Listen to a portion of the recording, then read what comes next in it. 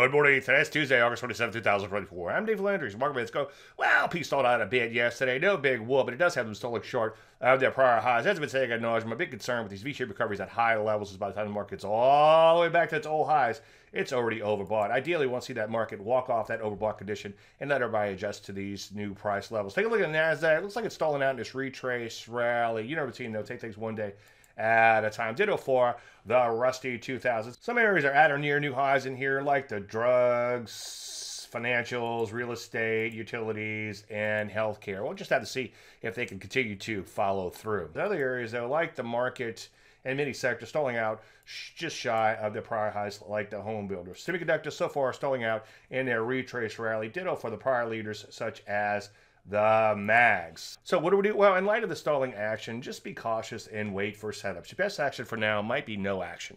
Any questions, as usual, David at I'm Dave Landry, and you start a market in a minute.